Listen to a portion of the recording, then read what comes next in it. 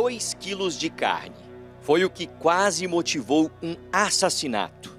João Batista Ribeiro da Rocha, de 48 anos, foi gravemente ferido depois de discordar de um açougueiro de 24 anos. Na quinta-feira, o João Batista, a vítima, ele veio ao supermercado aqui no Nova Olinda, em Aparecida, comprar carne. Queria comprar 2 quilos de carne e 4 de linguiça. Eles iriam comemorar o aniversário do filho dele, fazendo 20 e poucos anos. Ele veio até o açougue e pediu ali, ó, me dá 2 quilos desta carne aqui, carne de primeira. E aí a carne veio como veio, né? Como sempre a gente sabe como é nos açougues e nos supermercados onde tem açougue ali.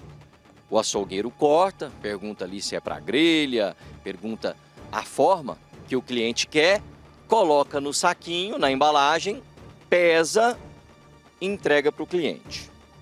A vítima, o João Batista, pegou essa carne aqui e foi para casa.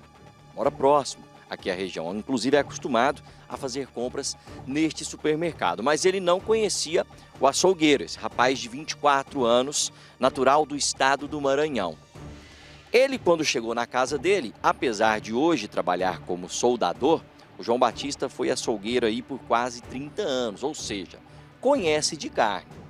Quando ele abriu lá o pacote, quando ele abriu o saquinho, ele viu que aquela carne não seria a carne que ele teria pedido, seria uma carne de segunda.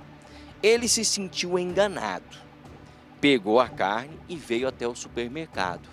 Chegou aqui, foi até o açougue e falou: Ó, oh, você não me deu a carne certa. Eu pedi tal, você me deu essa outra aqui de segunda. Tá aqui o preço que eu paguei, ó, tá aqui como carne de primeira, mas não é. E aí o açougueiro ficou naquela. Não queria devolver a carne, não queria receber a carne, não queria dar de volta aquela coisa toda. Ele foi para lá, voltou e tal. Na terceira vez, ao que tudo indica, a vítima pegou e falou: aqui, ó, então, toma essa carne aqui. O autor fala que a vítima teria jogado a carne nele, o pacote. A vítima diz que não, que somente colocou a carne lá em cima do balcão e falou: então fica com isso aqui, não quero mais também não. E aí a vítima se vira para sair do supermercado. Quando ela sai do açougue e já está entrando no hortifruti, o açougueiro, esse rapaz de 24 anos, vem pelas costas desfere dois golpes de faca contra a vítima.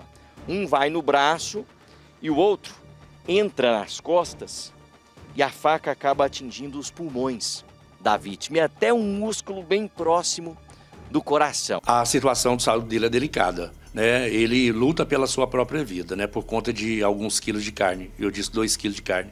Então veja, a princípio ele foi levado. Detalhe: quando ele foi esfaqueado dentro do supermercado, é, o que tem, o que nós temos de notícia, tanto da família como também de testemunhas, é que o, o, proprietário do supermercado simplesmente retirou ele do supermercado, colocou ele do lado externo e mandou lavar o sangue e colocar papelão onde ele tinha sido é, esfaqueado.